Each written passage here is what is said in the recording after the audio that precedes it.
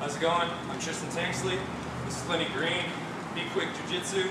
Uh, we're just kind of playing around with something the other day and uh, figured something out from guard. It's a guard pass to back.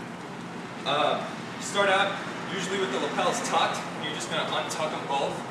I untuck both just as kind of a distraction, but you're only going after one. My knees are wide right now. I have a nice solid base. His hips are low. And we want to pass this lapel under. So the way we're going to raise his hips is by bringing the knees together real quick. You take the lapel, pass it under his back, and then widen your knees again so you have a strong base. All right? From here, from around this side. From here, this is the lapel that we just passed under. My palm is down. I want to switch it to where my palm is up, and then I'm going to take this elbow and plant it firmly on top of his thigh. All right? Um, I don't want to bring it on the inside because then he'll start, you know, throwing all kinds of triangles and whatnot. I'm just right on top, and I'm pinning.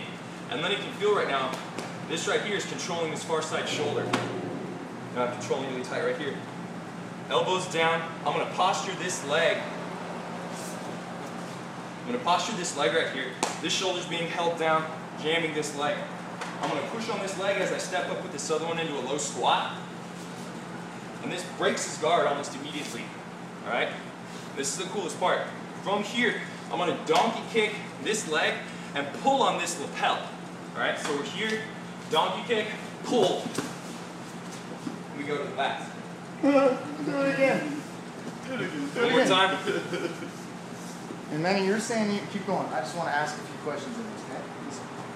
So we're here, strip, strip, knees together. You can't wiggle them over right now with your knees? Okay. All right. You switch your grip real quick. How, how come you wouldn't switch into the grip that way originally?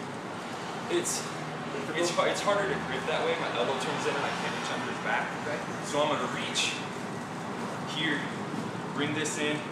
I guess I could bring it all the way across, but then I'm committing a lot of my weight forward.